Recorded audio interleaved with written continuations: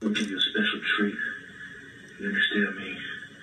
Today, November 1st, 2016.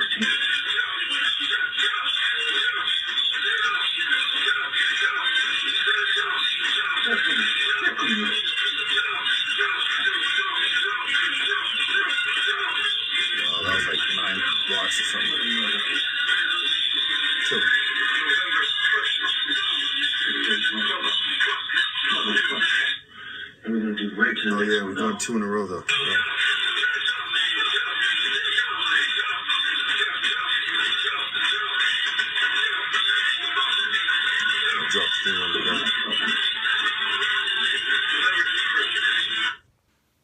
Now, when you look at my story, it is very obvious that women have shunned me for a long time, and I'm not going to forget that. Now, I'm not going to make any videos about women anymore, but I will briefly touch on the subject. The best years of my life are gone, and I was being experimented on and having psychological operations run on me, you know, mind fucks, since about late 2011 or so, depending on how you slice it. They were gathering information on me before that using females, and they've been trying to get me to settle. So I deeply, deeply resent women for the way that I've been treated. And I notice that they sleep with race, rapists and people that abuse women and so on. And when I say rapists, I'm not talking about somebody who's getting even with a whore who, you know, got over on them or something. I don't consider that anywhere near as bad as somebody who slips a female a date rape drug or something who really did nothing to him. You know, as soon as it, we go into the realm of vengeance, it's a whole nother story. It's like, you know, she robbed you and you slapped the bitch. We can't look at that the same way as you slapped the bitch because you're drunk and an asshole and she did nothing wrong. You see what I'm saying? And I'm not saying rape is okay. But one thing for sure is being shunned by women your whole life, especially the best years of your life, is much worse than being raped, say, five to ten times in your life. Because I'm complaining about this every day. Ask the people who know me best. Ask the women I talk to. Look at all the studies I've done.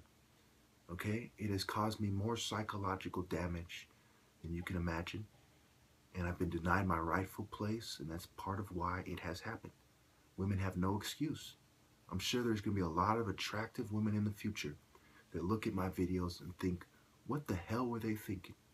Well, they have bad judgment, they're cowards, and they're not the types of females who are the smartest women in church or, or who are going to start their own uncontrolled, insightful spiritual movement anytime soon. They were shallow garbage, educated idiots with no common sense. I'm sure we all can name countless women who have college degrees and no common sense. That's why I personally believe women are not fit to lead. It doesn't matter how qualified they are, they're still a dumb fucking bitch. Thank you. In closing, I would like to leave you with these three final thoughts. Number one, I do not think that any rational mind would be surprised in the slightest that the top martial artist is someone who has too much morality and honor to sell out to become famous. Number two, that women shunned the top martial artist who was brilliant and handsome and virtuous because he chose to pursue virtue and not wealth. And number three, perhaps the most obvious of all, that the system and those social controllers who uphold it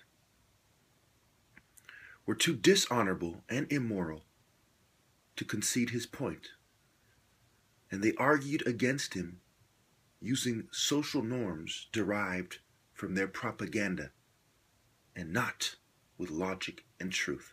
Thank you. Halloween. Halloween.